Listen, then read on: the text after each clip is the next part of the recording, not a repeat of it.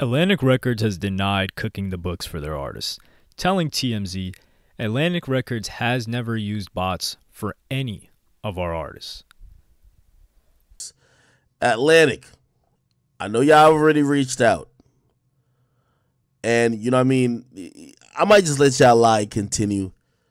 But you know I could provide a hundred thousand percent proof that y'all paid out invoices to people who were faking streams. This was the damage control that Atlantic Records did, an exclusive TMZ information drop.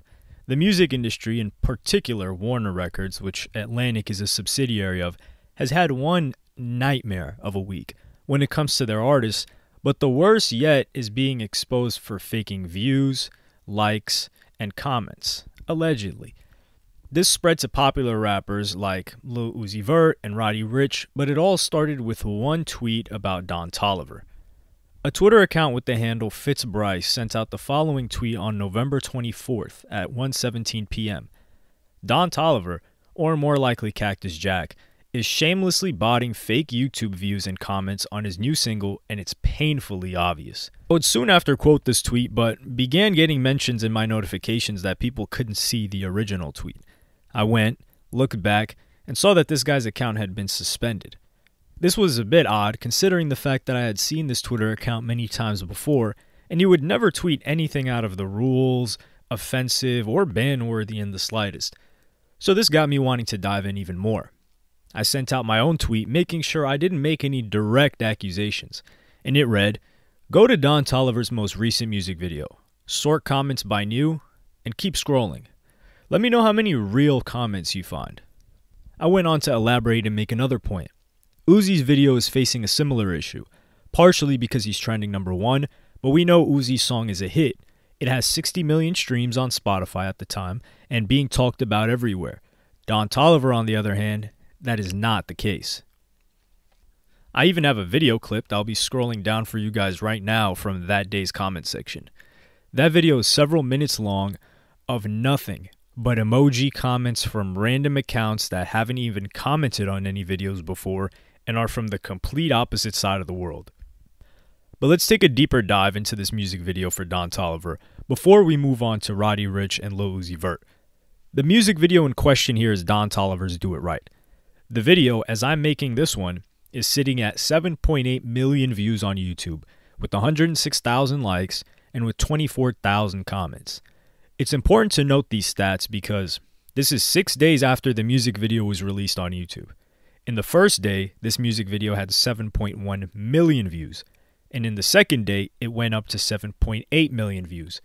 Ignore the fact that it says second day and third day in those screenshots. This goes by date. That's because it rolls over. So if the video released at 11 p.m., the first 24 hours will be considered two days because it rolls over to a new date. Remember the views I said the video currently has? Yes, still 7.8 million. Four days later, after it initially hit 7.8 million, which is absurd for nearly any video on YouTube, and especially for a music video. But wait, there's more. Remember the comments? Day 1, FitzBryce screenshot showed us it had 7.1 million views and 22k comments with 52k likes. Okay, well, in the video that I recorded, which was on November 24th at night, it had gotten 700,000 more views to bring it to 7.8 million, but it gained 2,000 comments and 32,000 likes to bring it to a counter of 84,000 likes. But the views have not changed since that day, and it's been almost four days later, so nothing should have changed too much with these three stats, right? Well, you'd be wrong. Somehow, despite the views not changing, if anything, it has lost views.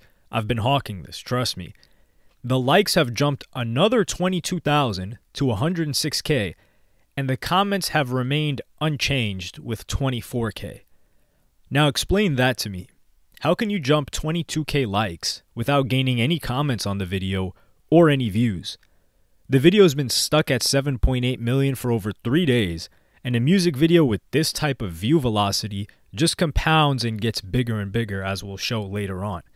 Hell, if you look at the comment section right now and sort by new, you can see these same type of comments that are just one letter one emoji spammed, spamming a letter over and over. by accounts that don't even seem like real human beings when you look into their profiles. What is interesting, though, and a new development, is that this Don Toliver music video is now trending at number 33 on the top 100 music videos global official YouTube music charts. Yes, you got that right.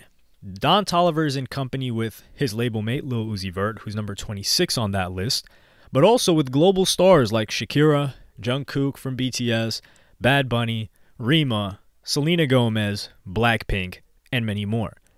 Does that seem like it makes sense to you when the only conversation that anybody was having about this new Don Toliver song was whether or not the music video was botted with views, likes, and comments? If they were botting this engagement, which I'm not saying they were, Don Toliver is clearly one of the biggest stars in the music game right now, not just in the United States, but also in India, Thailand, and Malaysia too. If they were botting, then it clearly worked because now the video is on a global chart that'll generate actual real views. The biggest issue that Atlantic came across here is that Fitz Bryce, or whoever found this first, he's just the first one I saw, spotted the discrepancies very early. If this was 10 days, or even two weeks later, everything would look like it checks out. Nobody would really sort comments by new, and they would have the veil they could hide under, which is when your music video gets high on trending, you're going to end up with body looking comments like that. It happens to everyone. So there would be no way to really pinpoint it. Although Don Toliver's team, and I'm guessing his management team, gave a statement to TMZ saying, A rep for Toliver tells TMZ, just like other artists and their teams who have been attacked with botting reports, we are both deeply upset and concerned. To be absolutely clear, neither Don or anyone on his team has had any involvement here. They add, while we conduct our own investigation into the allegations, yeah, we're going to investigate ourselves. Okay. We urge Atlantic Records to do the same. To protect the integrity of not only the roster of artists, but the reporting metrics, we look forward to sharing more as we obtain more information. Next up is Don Toliver's Atlantic label mate, Roddy Ricch, who released a music video Twin with Lil Durk on November 21st. So, over a week ago, and it's sitting at 5.9 million views right now with 78,000 likes and 10k comments. Unlike Don Toliver, Roddy Ricch is a way more successful rapper who has had bigger hits and bigger albums. Lil Durk is also one of the biggest rappers in the game right now, so it would make sense if they got this many views in a week. But it doesn't seem to make too much sense because it was actually the inverse of what happened with Don Toliver's music video. On the first day, Roddy's video got 405,000 views. Okay, that seems really reasonable and believable. It went up to 609,000 views. All right, an increase of 104,000 views in a day seems totally above board. Now, what in the world is this graph? In four days, it got more than 5 million additional views to put it at 5.9 million. That doesn't add up to me. And it seems to not add up to the commenters on the video, too. Some saying, and this is just the fourth day of it being released, not even the full seven, 1 million, now 4.4? The hell? Fake views plus fake comments. Don't believe me? Go down and see for yourself. Man, how the hell? This was on 1 million like five hours ago, and now it's 4.5 million views. Something ain't adding up. Damn, they allegedly did it like that? Not even drip feeding the views? Come on now. That's amateur hour. They might have to make some adjustments to that Roddy Ricch $500,000 booking fee now going forward, considering the real views that he's able to pull. The last we're going to look at is Lil Uzi Vert's I Just Wanna Rock. This music video is currently trending at number one on music and has been on there for several days now. The video views continue to go up, if you sort by newest comments right now, you see tons of real comments and barely any body comments, which, to be clear, was not the case the other day when I checked, because the new comments were about 50% spammy looking and 50% real comments. However, just looking at the graph, day 1, 1.2 million views. Day 2, 3.8 million views. Day 3, 5.4 million views. Up to day 7 with 11 million views. The rate at which the views are increasing makes sense. The song has over 65 million streams on Spotify now. It was everywhere on TikTok before it officially released. It's an actual hit song. Do I think Atlantic Records had an incentive to mix a ton of potentially botted views and engagement with the real views and engagement to get Uzi high up on trending? Yes, I think they had an incentive to do that. But unlike the two previous songs we looked over, doesn't change the fact that this song is an actual hit that is resonating with the people, being talked about, and also spread organically. But why? It's important to talk about incentives here. All three of these music videos required a pretty decent budget. They had to buy beats for all of these songs.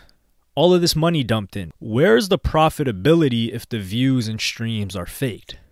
Because it would cost more money to buy the fake streams than getting paid for them would return. If you even get paid, since a lot of these views get sussed out and removed over time. This is a money sink, and the only incentive I can think of is keeping up appearances. Since Warner Music Group, the parent company, is a publicly traded company, to keep investors happy, they would show increased profits quarterly.